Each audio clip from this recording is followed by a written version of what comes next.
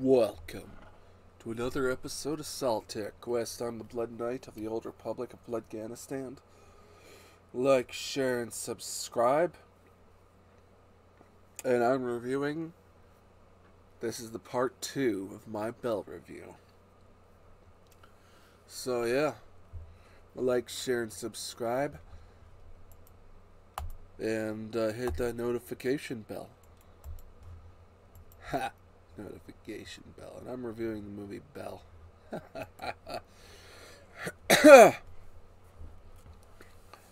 so yeah, let's get into it. Wrote down my notebook. Is that the voice actor for Lelouch? Uh, for for a moment, I thought I heard the voice actor for Lelouch. Not sure if it was him, but yeah. So there's a massive crowd she has to show her true self, apparently, for reasons. And she gets hit with the green uh, Doc's beam light. And that reveals her. Uh, somehow, sh- she was able to activate the, the weapon. And for some reason, her clothes get translated somehow. Wrote down my notebook, heartwarming. And yeah, shit ties back to the mom's death flashback, trying to save the kid.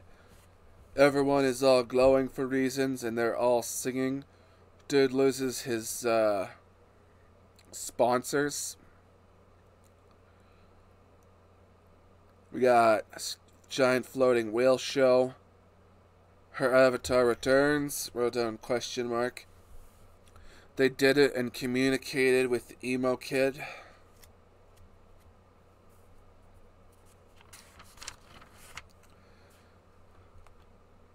Yeah. They reversed the, the the video. The law says 48 hours, but they don't abide by the law. The girl the girl uh the girl goes for reasons alone to find the emo kid and his brother. And apparently the emo kid and the emo kid's brother they're somehow still alive for some reason. And they're not beaten to death. The girl is not being punched to death for some reason Emo Kid is saved. Touching. Touching moment. Movie gaslighting us to the fucking Matrix slash Ready Player One. Girl returns to speak to the guy. The old women sing some stuff, and yeah, that's how the movie ends. So yeah, few, like few few lack of consistencies. First off, your main enforcer guy in the virtual world. He's got a band laser but no aimbot. And yeah. A few there are definitely some plot contrivances and whatnot. For example, the kid's clothing getting translated into the virtual world.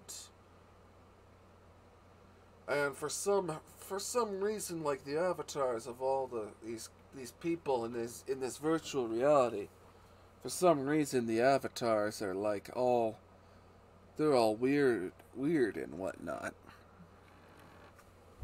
It's like they're all somehow Belle's is uh, perfectly fine. Which okay, so it's like they use your physical parameters to make uh to make an avatar for you at random. Okay.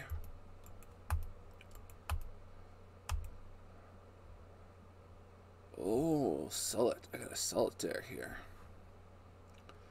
So anyway.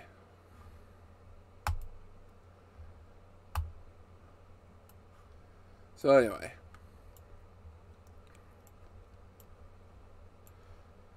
Yeah, few few plot contrivances. Not much else to say.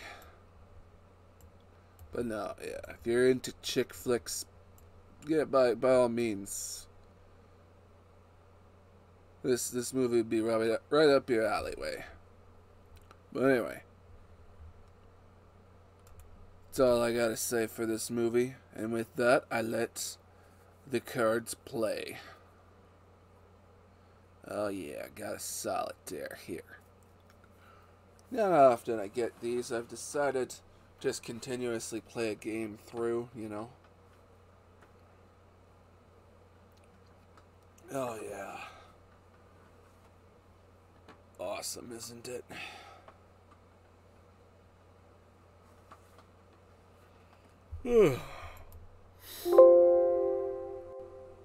Alright, these are my thoughts on Belle. Bit contrived, chick flick. That's the gist of it. Emo kid not dying. So yeah, I'm the Blood Knight of the Old Republic of Bloodganistan.